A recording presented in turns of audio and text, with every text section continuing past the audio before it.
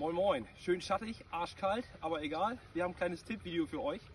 Und zwar betrifft das unsere neuen Flexibaits. Ähm, und da wollten wir euch mal einmal kurz zeigen, eine Methode, wie ihr die ganz cool einsetzen könnt. In dem Fall geht es um den Triple Tail, 40 mm. Und zwar fischen wir das Ganze mit unserer neuen äh, Prasten Reaper 2. 2,40 Meter habe ich hier jetzt gerade in der Hand. Und wir machen das so. Wir fischen das mit unserem Glass Spirus von Skullgear, kombiniert mit einer kleinen Stopperperle, Zweifachwirbel, dass ihr den Drall rausnimmt, Meter, Meter 20 Vorfach. Das war schon. Ihr habt damit den Vorteil, ihr könnt super gut auf Distanz kommen. Ähm, ihr könnt den Köder in unterschiedlichen Tiefen einsetzen. Die laufen super.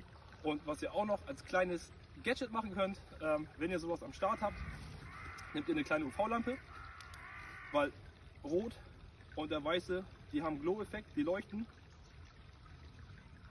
Gerade für morgens, so wie das jetzt ist, bedeckter Tag, könnt ihr noch ein paar Fische darüber mehr überlisten.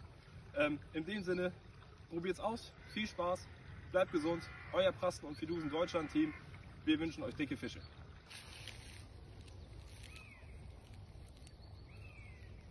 So, kommen wir noch mal ganz kurz zur Köderführung. Einfach raus damit. Kurz vorher abstoppen, damit er vernünftig sich hinten streckt und dann einfach nur langsam einleiern das Ganze. Mehr braucht ihr gar nicht machen. Ihr könnt ab und zu mal einen kleinen Twitch machen und das war's. Mehr nicht. Und Live-Biss. Und wenn ihr einen Biss habt, so wie in dem Fall, ihr dreht einfach weiter. Die haken sich in der Regel selber. Auf jeden Fall eine schöne Portionsforelle.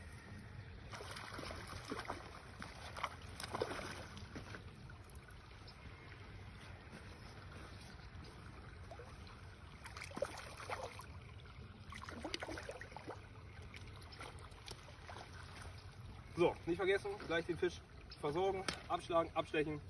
Viel Spaß am Wasser beim Nachmachen.